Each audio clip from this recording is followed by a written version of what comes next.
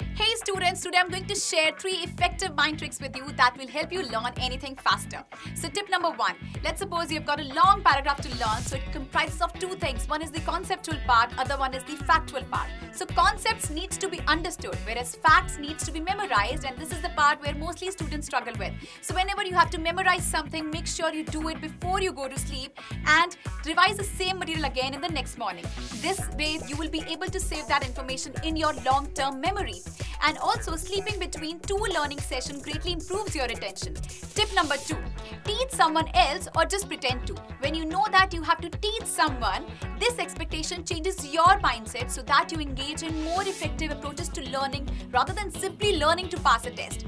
Tip number three take notes by hand. When student takes note by hand, they actively listen and they're able to identify the important concepts as well.